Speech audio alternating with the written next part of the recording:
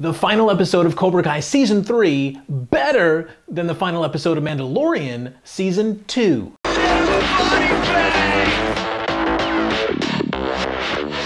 Hey friends, I'm James Gaddis. Welcome to NostalgAK. Yeah, that's nostalgic with an AK at the end because we are in Alaska, the 49th state. I know it doesn't look like it. We're currently down in the basement in the home that is in Alaska. Uh, eventually, I'll get you outside and show you around a bit. That's part of what this channel is going to be all about. The big part, though, about getting nostalgic, especially as it relates to the 80s and 90s video games pop culture. So in this video, I will explain to you why I think the final episode of Cobra Kai this past season No mercy! was better than the final episode of The Mandalorian. Yeah, the one where Luke Skywalker showed up. Are you a Jedi?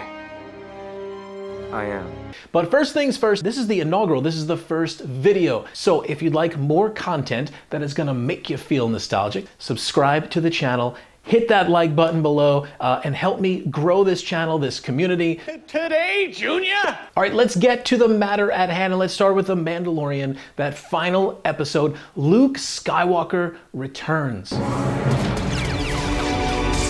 Should I have said spoiler alert? I think at this point we all know what happens, right? Okay, we're beyond that. Same thing goes for Cobra Kai. We're gonna talk about the end of both. Okay, so why didn't this one hit me as hard as the end of Cobra Kai? Well, still amazing, but I think there was something about uh, those dark troopers at the end, and they were just super slow and lumbering. super slow and lumbering. And it didn't look like they put up much of a challenge or a fight. A couple of blaster shots here and there. Um, I mean, it, it was cool, but it didn't have the same, I don't know, it didn't have the same effect for me. Again, maybe that just proves just how powerful he was five years after Return of the Jedi. And then, of course, the other is the CGI.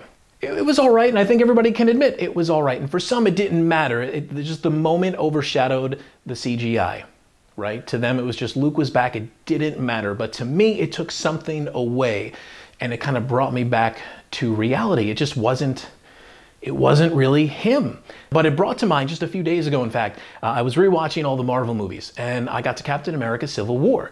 And holy cow, there's that scene, uh, well, the flashback scene with a very young uh, Tony Stark. So it's Monday. That is good to know. I will plan my toga party accordingly. And I was thinking to myself, holy cow, like this was, maybe it was a money thing. I don't know because this was a motion picture. Um, but, but they nailed it. Marvel nailed it. It was perfect. I wish that could have been Luke Skywalker. It's coming from a big Star Wars fan. Like I'm deep in it. I waited 15 hours in line to see the trailer for, of all movies, The Last Jedi at Star Wars Celebration uh, in Orlando. On the side, I've got a side gig as a toy photographer. Not just toys, any toys, but Star Wars toys. I've had exhibits and I sell them at conventions. Read all the comics, watch all the movies, watch all the cartoons. You know, I'm just, I'm in it to win it. Uh, I know a lot of my friends and fellow Star Wars fans, I mean, it brought them to tears. And I guess, if anything, I feel like I'm missing out. Like I missed out on that moment. May the force be with you. And that takes us to the Karate Kid. Oh man, that final episode, uh, definitely some water in the eyes. Karate Kid 1984, you know, I'm not even sure which one of these movies, whether Karate Kid or the Star Wars films, uh, I had seen first. So I was born in 1979. Ralph Macchio, born on Long Island just like I was. In fact, he graduated high school in 1979, the year I was born, and from uh, Half Hollow Hills West High School. He grew up in Huntington. 20 minutes from West Islip on the south shore of Long Island, where I grew up. So Ralph Macchio was a big deal. He was a local boy. And so I grew up and Karate Kid was a big part of my life. I love that movie. And I'm not one of those that watched Cobra Kai when it came out on YouTube. I waited until Netflix and I got in on it when everybody else did. And man, I just fell in love. You know, the whole time you're rooting for Johnny. Yeah, asshole. I clicked all the buttons. I still can't find the internet. You're rooting for him to become a better man, to fall in love, to become friends with Daniel. Hopefully, right? You're kind of hoping for both of them to team up. And then at the end, whew, eventually, as I can feel it coming in the air tonight. Oh, oh, I think it's a the Proto Men, Proto Men cover of Phil Collins's "In the Air Tonight" as it plays, and the band gets back together. The kids are hugging, high fives. Daniel's standing there watching them in this moment outside Miyagi-Do, and then all of a sudden, Johnny Lawrence comes around the corner. Oh, boom! It hit me. This was it, man. This is the moment I have been waiting for. They are finally going to team up. They're going to be buds.